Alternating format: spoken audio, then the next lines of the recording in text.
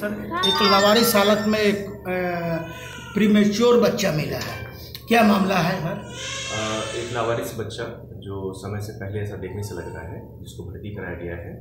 और अभी उसकी हालत ये है कि ऐसा देखने से लगता है कि कोई जानवर भी उसको कुछ काटने का कोशिश किया है और नोचने का कोशिश किया है, जिसके कारण से थोड़ा खतरा बढ़ा हुआ लग रहा है।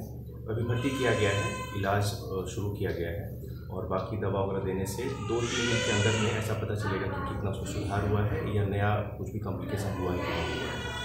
तो अभी समय चाहिए उसको तब तक उसको मैनेज किया जा रहा है। दवा वगैरह हॉस्पिटल सप्लाई से करके शुरू किया जा रहा है और उसको क्लोज वॉच में रहेगा। उसको हम खुद फॉलो करने व्यक्तिगत तौर पर उसको फॉलो करेंगे और देखेंगे जाने वाले समय में कैसा ये सुधार लड़का है कि लड़की है सर? ये हम अभी लड़की लड़की है। लड़की है लड़की है। कितने जगह जख्म के निशान है सर? एक तो लेफ़्ट पैर के जो जिसको सोल बोलते हैं जी, जी, मतलब तलवा जी, उसमें जी। काटने का निशान है। और राइट साइड के जो थाइस के पीछे में अच्छा खासा घाव का निशान है जिसमें लग रहा है कि कोई जानवर उसको काटने का कोशिश किया है। क्या नाम हुआ आपका सर? डॉक्टर रविंद्र शर्मा मैं शिशु रोग विशेषज्ञ हूँ।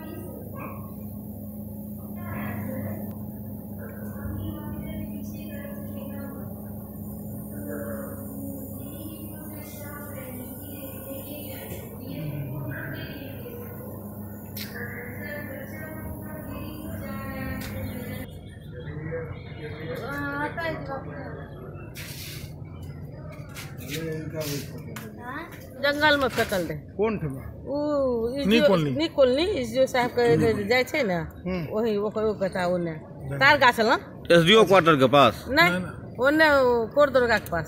अच्छा अच्छा निकोलनी स्कूल ले हाँ, स्कूल के वही कथा हाँ की कना कना जाने के देखलक उ तू लपटल रहे त सुगरिया करैत रहे। अच्छा सुगरिया करैत रहे हम कहलिए बच्चा के आवाज़ सुनलिए ने कानै छै एगो खूब काने लगले त हमें उ कहलिए कि हे सुगरिया के भगलिए सुगरिया भगा के देखलिए बच्चा रहे त कहलिए घीच के एने छौरी छिए तब जाके कहलिए छौड़ा के बोला ज़िंदा लाके लड़की रहे ज़िंदा रहे बच्चा ज़िंदा रहे एकदम नवजात हाँ ज़िंदा रहे कतै दे देलिए एकरा ये ओनेसू में। की नाम है यहाँ मिक्की देवी